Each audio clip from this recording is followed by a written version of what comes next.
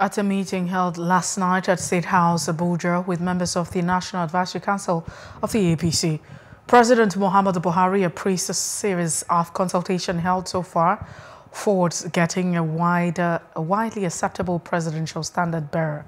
He then concluded the APC was on the way towards winning its third straight victory since 2015. The president added that the motive was to strengthen unity in the party and to focus on building upon its electoral fortunes.